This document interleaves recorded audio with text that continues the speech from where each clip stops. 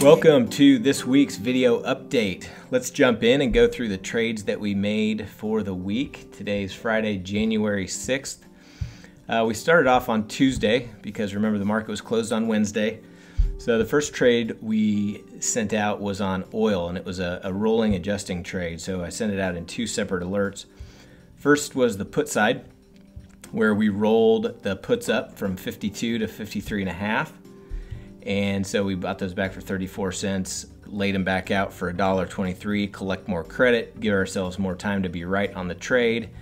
And then on the uh, tested side, which was the call side, we don't we don't move that strike. So we rolled the 48 and a half to the 48 and a half. We just simply rolled it from February to March.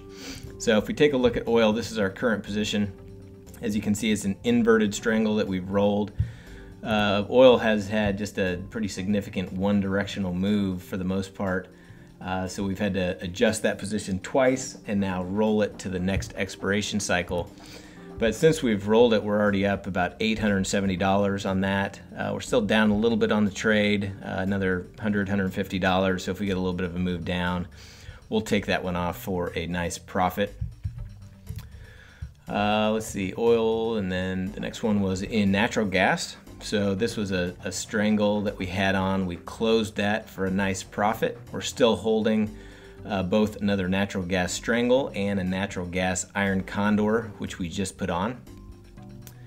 I'll get to that here in a minute. Uh, GDX, so this is a uh, strangle that we opened. So it was an opening trade in GDX. So if we take a look at GDX, nothing much here, just just still very centered, hasn't moved much. So implied volatility actually contracted a little bit today, um, but uh, we'll wait and see if we can get some more contraction in GDX uh, later next week. In the Qs, we had on a calendar spread and we took that off for a nice profit. We take off those calendar spreads for about 15, 20, sometimes 25% of max profit. So that was a nice trade. If we take a look at the Qs,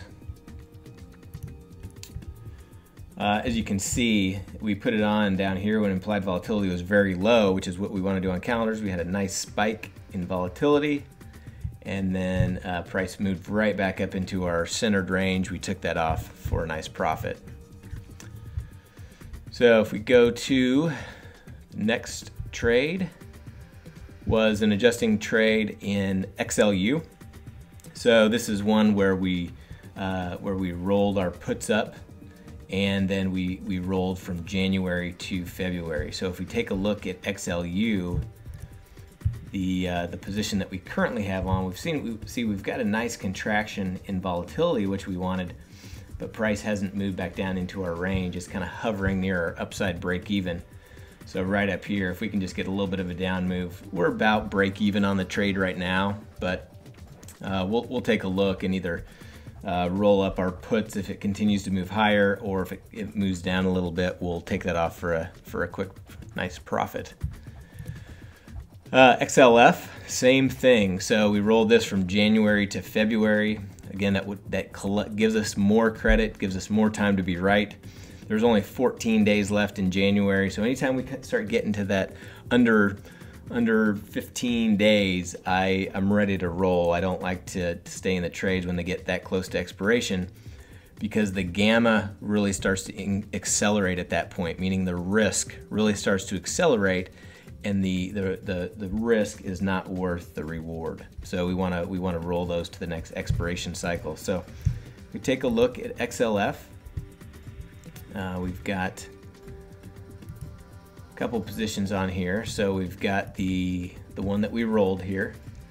And so you can see that it's, uh, you know, we've got a pretty nice range to the downside here. In, in conjunction with that, and a position that we've had on for a couple weeks now too is the, the 24 straddle, okay? So I'll manage these as two separate trades, but I also look at them as one. So if you, if you take a look at this, you can see we've got a nice wide break even nice wide range for this to move move around in, and hopefully if we uh, if we kind of stay there and get a little bit more contraction in IV next week, we'll take that off for a nice profit. Next trade was in FXY, so we closed this straddle. Um, if we take a look at FXY, it still has some decent implied volatility. Got a little bit of a contraction today. Uh, it's still pretty centered. Uh, and actually, we're talking about the, the closed one. So we, we closed that one out. That was about a break-even trade. Um, but we added this additional strangle last week as well, which we're pretty close to taking that off. If we can get another, uh, you know, 50 to 100 dollars, we'll take that one off for a nice profit as well. Uh, Iron Condor in the bonds. So let's take a look at bonds. We've got this. Uh, we've got this Iron Condor in bonds, and and first let me unclick that. That's that's part of a, a money flow directional trade, so we don't want to show that as as part of this. So here's our Iron Condor, still very centered. Nothing to do here except for wait. Uh, if you take a look at TLT, which is the bond ETF. So we've got an Iron Condor and bond futures and the bond ETF. Just to, just looking for different vehicles. It just kind of depends on the amount of credit we're receiving. So I just like to look at both. And the IV is measured on TLT, which still uh, continues to be above 50, making it a good trading vehicle. So there's a lot of things with low IV. So when that's the case, you want to just go to the, the symbols that have the highest IV and sometimes, as you'll see, we'll have to be trading things that are under 50, but that's just the way it goes. To stay engaged and to stay invested and continue taking profits, we will continue to, to make trades in the highest possible IV symbols. Next trade was uh, XRT. This was a closing trade. Took a, took this strangle off for a nice profit in just 11 days. Remember, if we if we get a profit of 30% of max profit, in in a short period of time like that in under 15 days we'll take that and redeploy that capital. So if we take a look at XRT as you can see it was kind of in this little dip here I mean just a small contraction in implied volatility but the premium got sucked out of that uh, trade really well giving us a chance to take a profit in XRT uh, GLD so we closed the put side of our GLD Iron Condor. We're still holding the call side.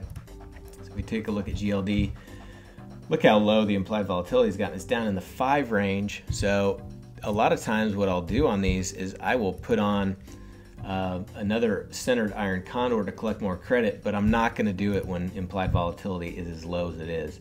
If it would get up to even 20 or 30 or higher, I'd look to add another iron condor to as an adjustment to this position. But right now, I'm just going to wait and see if we can get a down moving gold, take that off for, for profit, or just continue to wait to see what happens. If implied volatility spikes, we'll definitely be looking to add add more of a uh, an adjusting position to the GLD. XRT, I already mentioned that, that we took that off, and then we've got another strangle on and that's pretty centered. We're in the profit, but not enough to take it off yet, so we'll continue to wait there. And then today, on Friday the 6th, we, we sold uh, Iron Condor and natural gas. So here's our, here's our strangle that we had on, we already went over, and then we also added this Iron Condor. So let me uncheck those so we can get that right. So that was the 3.2 and the 4.6 was our strangle. So sometimes you gotta remember what you did here. Now, the market's closed.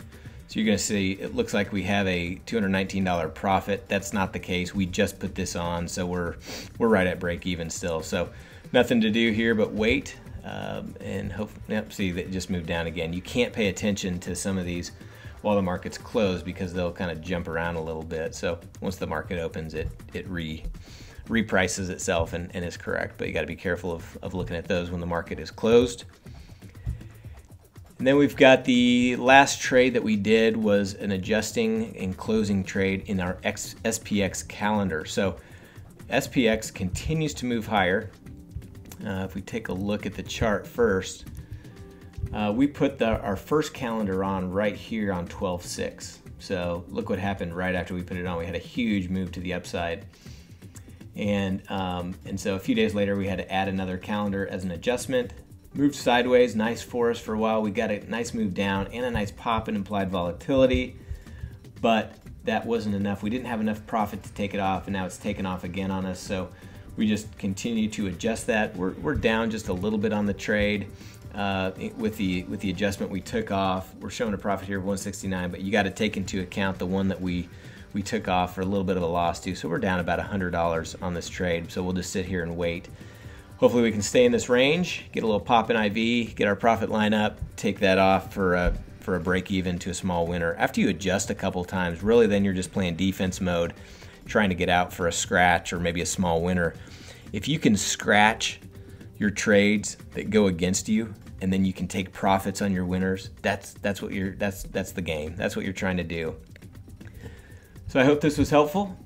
If you have any questions, um, one thing we do have here is you can see there's these little uh, uh, voice bubble boxes. If you click on those, you can actually ask questions and or type comments right there, and I'll get alerted that there's a comment. So I, will get back to you and try to answer those as quickly as possible. Uh, other members, excuse me, can also jump on there and post comments and questions uh, to help each other out if uh, if I can't get to you soon enough. So hope that was helpful. We'll see you next week for some more trades. See you then.